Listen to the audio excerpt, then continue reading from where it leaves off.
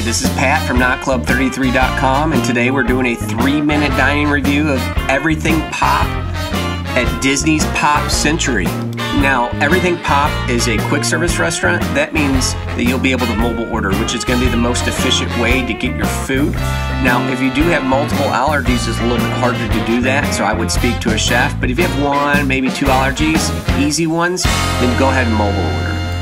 The great thing about Disney's Pop Century is that it's on the Skyliner now. It is one of the best modes of transportation at Walt Disney World. It gets you to Hollywood Studios and Epcot without having to use buses, and this is fantastic. Now let's talk about the food here at Pop Century. This time we ordered breakfast, uh, and we actually used the mobile order app which is super efficient. Even with our allergies, the gluten and the shellfish, it was not an issue. Okay? Uh, what was so efficient about this is that we're getting ready. We ordered our food. Then, as we walked to Everything Pop, we went into the app and let them know to start making our food. So, by the time we got there, the food was ready. So, this review is going to be short and sweet. We both ordered the same thing the breakfast bagel sandwich. Comes with cheese, scrambled eggs, bacon, served on a gluten-free bagel.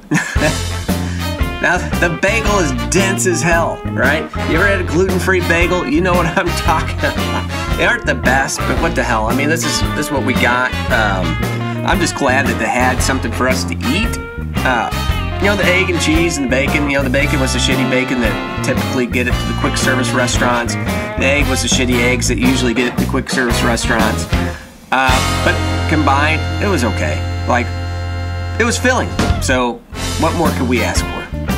Now, as far as recommending uh, everything pop, um, I mean, I have to, kind of have to. What the hell? There's no other place to eat. It's not terrible right? By any means, not absolutely trash.